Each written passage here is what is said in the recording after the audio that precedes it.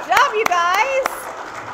You guys can go back to your seats for just a minute. I'm going to call you back up in just a second. Talia, you want to take Kinsley with you? Take Kinsley. Grab her hand. Oh, she can stay. Listen, this is just a family uh, vacation Bible school celebration. So I want all the kids to feel totally comfortable wherever they are. Moms and dads, you don't have to grab them. You can let them run around. Maybe everybody can watch the exits and we'll work together. um, yeah, she can have a balloon too. Um, so we're just, uh, this morning we're celebrating obviously our Vacation Bible School. Our sanctuary doesn't always look like this. Uh, this is a celebration and culmination of a wonderful week of activities and learning and growing strong with God. So this week we had uh, 25 students, uh, campers that were part of this. We had about um, a dozen teenagers and youth helping us, and another dozen adults that were here working on the stations and the different crafts that we had. We had an imagination station that talked about science and different experiments that we got to do. Uh, so it was a truly, truly blessed week. And I want to take this moment because sometimes I forget in the midst of things, and I just really want to thank all of the volunteers, um, and especially Vicki, who is our office admin.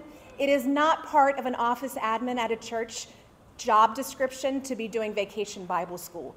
Um, but both her and Brittany have kind of just set this course for us and really helped us get organized, worked on registration, um, communicated with families, uh, did the outreach and the media and all that stuff. So we're very, very grateful for that outpouring of help. And then we had station leaders that were part of the week. So if you were a station leader, if I, you could just stand up so we could recognize your work this week. Stand up if you were a station leader at Vacation Bible School.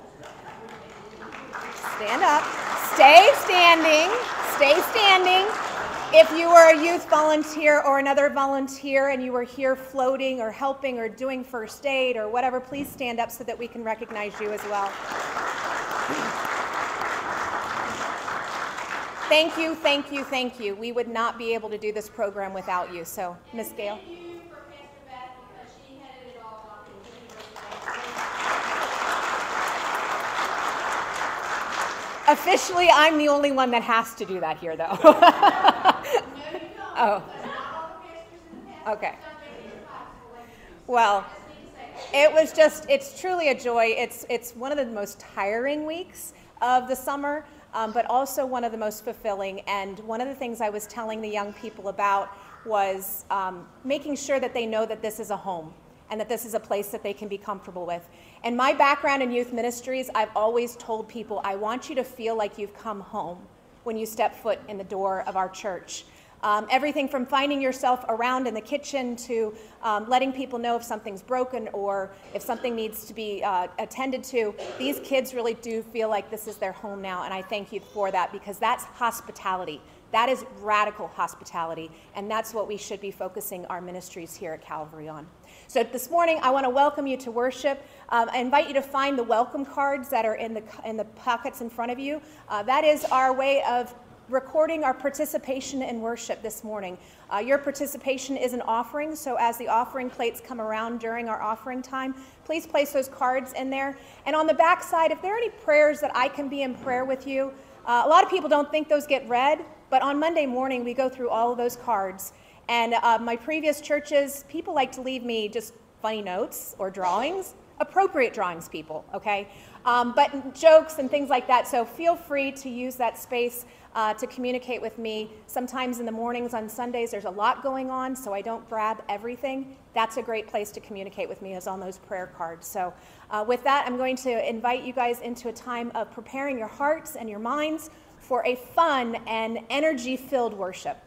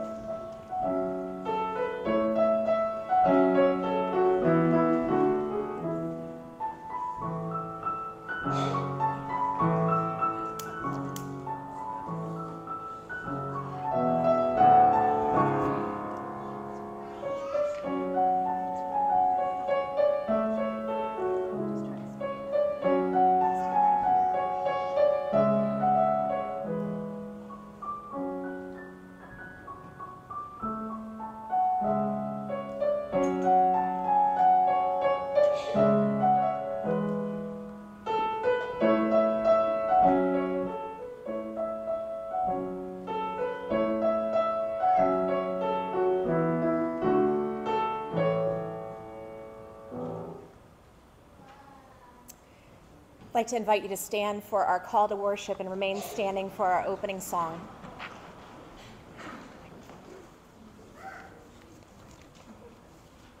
When the heart of the world is hard to hear, God's love helps us stand strong. when we feel sad, hurt, or alone, Family and friends help us to stand strong. God, when we need you, Family, stand strong. When, the troubles of this world get to us, Trusting in God helps us to stand strong. If the kids would like to come forward, they're welcome to for this song.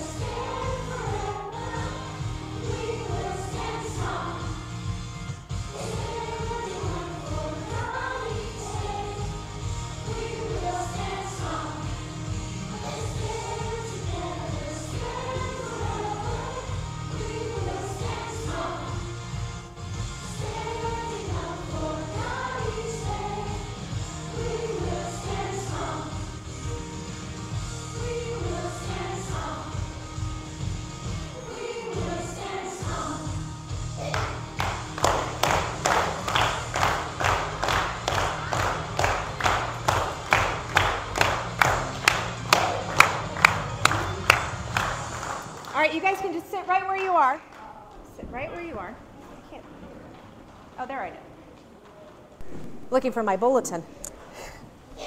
So, our ministry invitations and celebrations. I've already said a lot. I've given our thank yous. Um, I just want to remind those of you that came in kids can run where they want, it doesn't matter. Okay, we're just going to watch all the exits. Okay, um, so those of you near exits, that's your job. Make sure no kids escape. Um, but we all uh, also want to welcome you to our picnic right after this. Uh, I'll say a blessing at the end of the at the end of the service, and then you guys can go out and eat. You don't have to wait for me to come back and do a second blessing. Um, some other invitations that I'd like to bring to your attention in the bulletin. Uh, there's a lot going on uh, still in the in the life of the church this summer. Uh, we do a monthly love offering, and so the monthly love offering for June was for Shepherd Staff, which is an organization in the Carroll County area that provides um, items to families in need. And one of those items that we're collecting right now are school supplies. So if you want to check our outreach corner in the back, you can see all the school supplies that the kids collected this week during Vacation Bible School. So we'll keep that collection maybe for another week or so. That way, if you guys want to bring things next week, you can as well. Um, I won't be with you next week because I will be driving to Frostburg for Camp Hope. Um, so Miss Renee will be preaching for me on, on that morning, and we're very grateful for our lay leadership, Art and Renee tag and, and help me out often, so I really appreciate that. But that's just a celebration um, that our Camp Hope group is going to be going. And it wasn't planned, but since we have two of the leader, three of the leaders that are going, um, four of the leaders, because Randy's here too, I would like you guys to come up and Thea, anybody else is going on Camp Hope, come on up here. We don't do this. We don't do this very well. We don't commission our mission teams, which we should. So commissioning is a very important part when you send out missionaries. And since you have all these kids here, if you don't mind, just have a seat on the step right here. All you kids, I want you to come around and surround us. I'm one of the leaders too, but I'm going to help you guys pray right now. Um, so these folks are brave. Mariah's out tending the grill, I think, so she's going as well. And then Parker's going, and we've got um, the Payne's grandsons are going, and Thea's got a bunch of lacrosse girls that are coming with us. Um, so our prayers go out to all of the volunteers that are going. All you guys have to do is just put your hands kind of just out.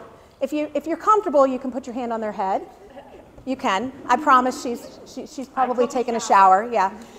And we're just going to pray for you guys and ask for God's blessing upon you for this mission trip, for the people that we will encounter and the ways in which you guys will be serving. Um, go with God's love and with Calvary's support. So, will you pray with me?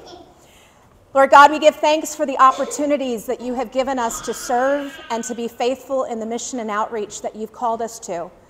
For the families and individuals that we will encounter in Frostburg, we ask that you be with us in the grace and the hope and the peace that we are able to bring by repairing homes, uh, making lives more comfortable, and just bringing a little bit of hope. We also, Lord, ask that you open the eyes of our young people and let them know that this is something they can do for the rest of their lives, that they can continue to serve and give of themselves each and every day. And so, with this, Lord, we pray and we ask your blessings upon us. Amen. All right, you guys can go back to your seats. Thank you so much. No, not you guys. Sit down. You're not done.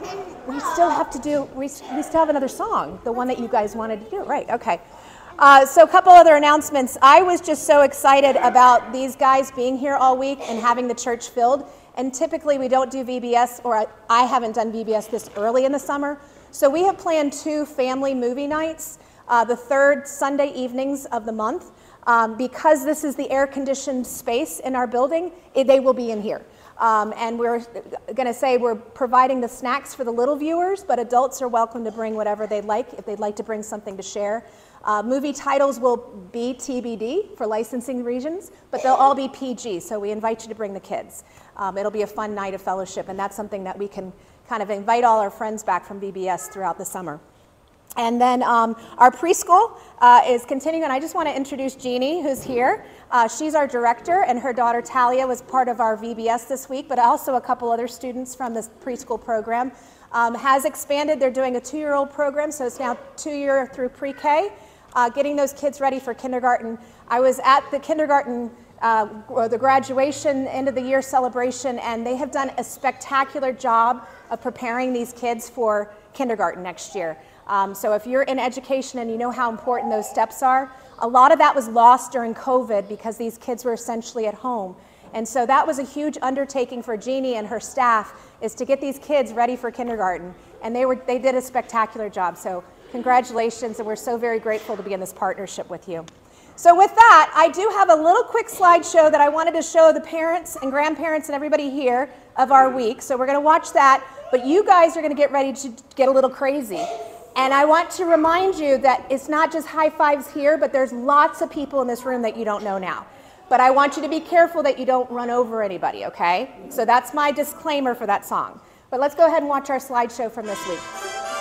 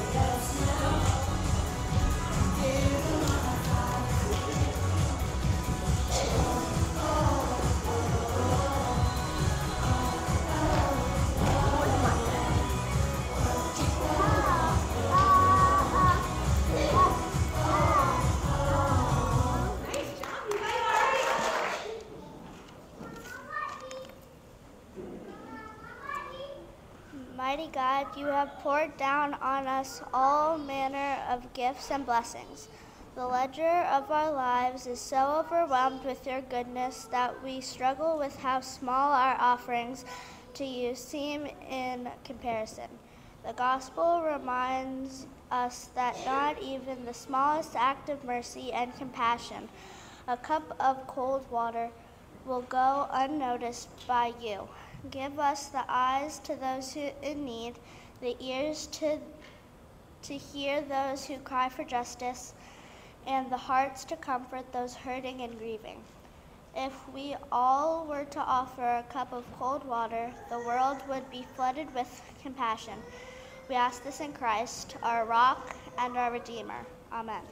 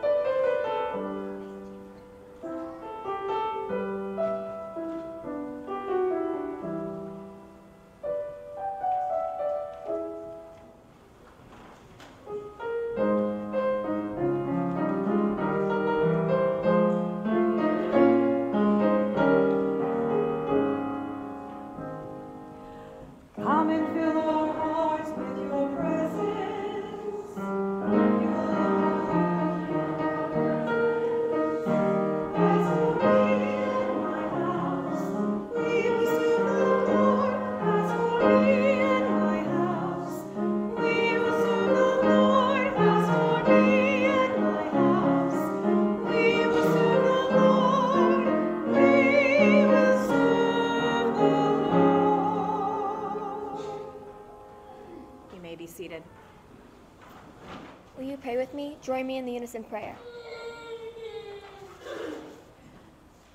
We thank you, God, for drawing us to this place and time and for interrupting us with your gift of life in Christ.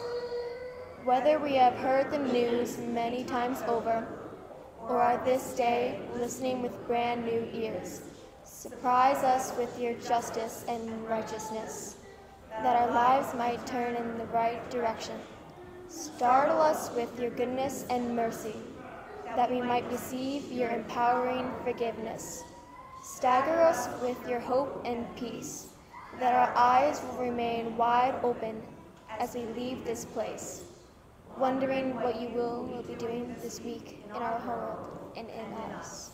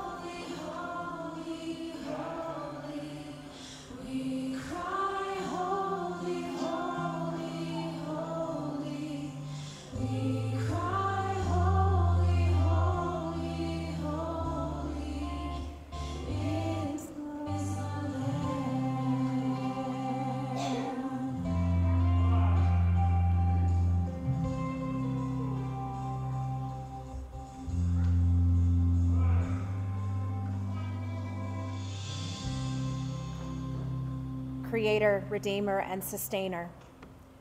That whom we pray to this morning, Lord, we ask that you hear our prayers that are on our hearts. For the ones that are deep down and hard to wrestle with, to the ones that are joyful and celebratory, as the smiles on our children's faces giving high fives to random strangers. We ask, Lord, that you continue to bless this space for families and for children to come and feel at home, for a place that we can continue to nurture our community around us and provide space for those in need of solace, of quiet, but also for the joy of noise and celebration. Lord, we ask that you continue to bless us with the missions and outreach that you've called us to. We ask blessings over those school supplies in the back of our sanctuary. May they bring some joy and some uh, relief to families in our community. We also lift to you our July offering, Lord, and ask that you bless that likewise. For you have called us to care for each and every one of us in our communities. As we reach out to our prison ministries, Lord, we remember that those too are people that we support and care for as they are incarcerated for reasons beyond our knowledge nor our care, but that we support them and that we ask that you continue to bless them with all that they need. Lord, we give thanks for the ways in which you've drawn us together, families and friends, community members and partners. In all these ways, Lord, we call upon you to hear our prayer, that as we fall down, we have you to pull us up and your strength to give us strength for the next steps. As we lift that prayer, your Son Jesus taught us all to pray Our Father, who art in heaven, hallowed be thy name. Thy kingdom come, thy will be done, on earth as it is in heaven. Give us this day our daily bread, and forgive us our trespasses, as we forgive those who've trespassed against us. And lead us not into temptation, but deliver us from evil. For thine is the kingdom, and the power, and the glory forever. Amen. Our scripture reading this morning comes to us from the Gospel according to Matthew, chapter 7, verses 21 through 28. True and false disciples, and the wise and foolish builders. Not everyone who says to me, Lord, Lord, will enter the kingdom of heaven, but only the one who does the will of my Father who is in heaven. Many will say to me on that day, Lord, Lord, did we not prophesy in your name, and in your name drive out demons, and in your name perform many miracles? Then I will tell them plainly, I never knew you. Away from me, you evildoers. Therefore, everyone who hears these words of mine and puts them into practice is like a wise man who built his house on the rock. The rain came, and the streams rose, and the winds blew and beat against that house, yet it did not fall because its foundations were on the rock. But everyone who hears these words of mine and does not put them into practice is like a foolish man who built his house on sand. The rain came down, the streams rose, and the winds blew and beat against that house, and it fell with a great crash. When Jesus had finished saying these things, the crowds were amazed at his teaching. This is the word of God for the people of God. Thanks be to God. In the world that we live in today, it can often feel like we're constantly being tossed and turned by the waves of uncertainty and chaos. In the midst of these challenges, it's crucial that we find our strength and stability in a firm foundation. It's no secret that this week's theme was teaching kids how to stand strong with God. So let me just test this out. On our first day, we met Truman, our Bible buddy over there. He's a bulldog. He teaches us that love helps us to strong. On Tuesday, we met Duke, the mighty Clydesdale, who was able to pull his friends and family anywhere they needed to go. And Duke taught us that friends and family help us to stand strong. On Wednesday, we met Swift, and Swift is a falcon. And I didn't know this about falcons, but they can fly up to 200 miles per hour, which we discovered very clearly that Beth, Beth, Pastor Beth's car does not go that speed. But they can fly at 200 miles an hour diving for prey. And I would have to think if I was going that fast in something, I would be using prayer a lot. And so Swift taught us that prayer helps us to on Thursday night, the night that you saw my, my therapy dog Kaiser here, who's actually a Leonberger, who is a, a lion like dog, he was our Sir Valiant for the night, and we met Sir Valiant, the mighty lion. And he taught us that trusting in God helps us to. stand strong. And on the last night, we met Victoria. She's in the window up here next to me. She's a sly little red fox. What did she teach us? What was the last one? Aurora. Stop answering the questions for the kids. okay, kids, what was it? The Bible helps us to. I wanted to make sure they remembered. Well, guess what? I just read Matthew, the Gospel according to Matthew. There are four books in the Bible that tell us about Jesus' story. It's the same story four different times, four different voices Matthew, Mark, Luke, and John. Matthew's our accountant. He was a tax collector and he liked to use patterns and, and, and things that would make people think. He used a lot of numbers and a lot of riddles in that way. And so, Matthew, if you like accounting, would be a great gospel to start in. Matthew 7 reminds us in a very pivotal part of Jesus' ministry. This is what happened on the Sermon on the Mount, where Jesus laid out all of these rules and all of these ways of life. At the end of that speech, at the end of that teaching to those thousands of people on that hill, Jesus reminded us of the importance of building our world, our lives on solid ground. He said, Everyone who hears these words of mine and does them will be like a wise man who built his house on the rock, which is what these kids have learned this week. In this passage, Jesus encourages us not only to hear his words, but also to put them into practice. It's not enough simply to know the teachings of Jesus, we must actively live them out in our everyday lives. And by doing so, we establish a strong and unwavering foundation that can withstand the storms that come our way. In a world filled with shifting values and ideologies, standing strong requires a firm commitment to the truth and principles found in God's Word. It means making choices that align with His teachings even when it's difficult or unpopular it means loving others as ourselves, showing kindness and compassion to those around us. It means seeking justice and speaking up for those oppressed and extending a helping hand to the marginalized in our communities. When we build our lives on the teachings of Jesus in this way, we gain a sense of purpose, a sense of peace and resilience one of the things I had to reconcile in my own life is the storms do come. The storms will come. But in this confidence, in these teachings, we can find that confidence in which we are able to stand strong in. Knowing that our foundation, our community, is unshakable. We can weather the challenges of this world standing strong Go ahead. Stand strong. Now she doesn't do it. In the faces of, of adversity.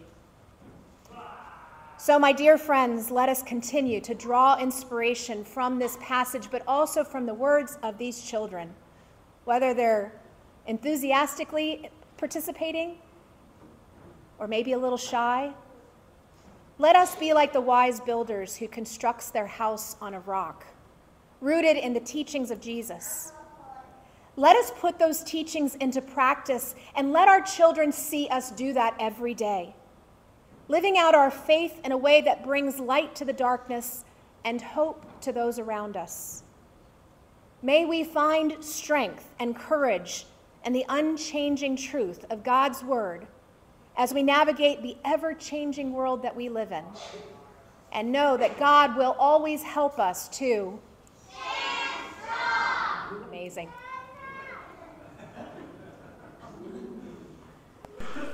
This morning, as we celebrate communion together, um, we do communion a little differently since the days of COVID. Um, we recognize that there's still flus going around and also some COVID cases in our community. Um, so we have uh, what I like to call communion kebabs. Um, you'll receive one. And I remind you, in the United Methodist Church, this table is open to everybody. You need not be a member of this church or any church.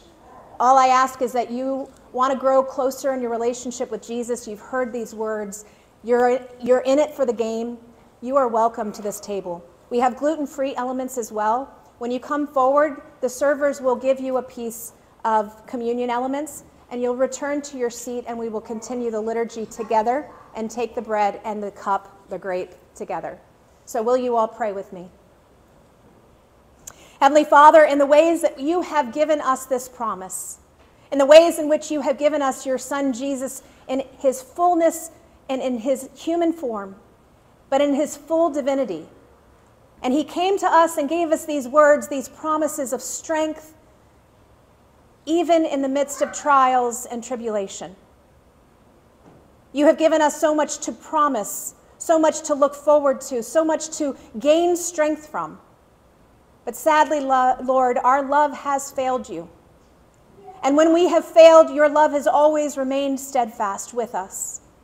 And so, in this moment, Lord, we acknowledge our humanness. We acknowledge the brokenness in our world and in our own lives. And we call upon you to hear our prayers of confession. For the ways in which we have fallen short of these promises, Lord, help us, strengthen us, give us that which we need to face each trial each day, each storm in our lives, and helping us to stand strong. Lord, you have given us so much, and oftentimes life gets so busy and we forget. So, in this time of communion, Lord, draw us together. I invite, Lord, your Holy Spirit to pour out upon us and on these gifts of bread and cup. Make them be for us the body and blood of Christ as we celebrate this holy sacrament together. Amen. I invite my servers to come forward.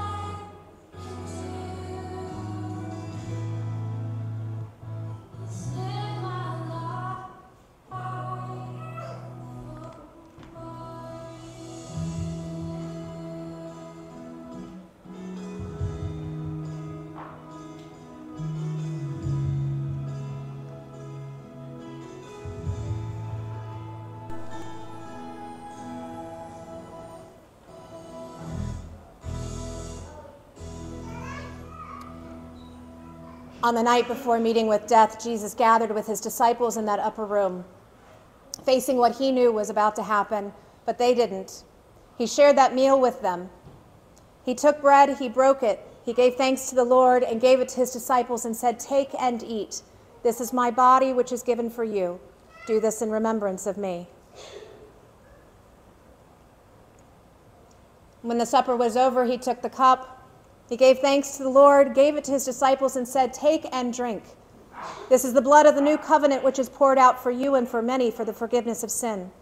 Do this as often as you drink it in remembrance of me.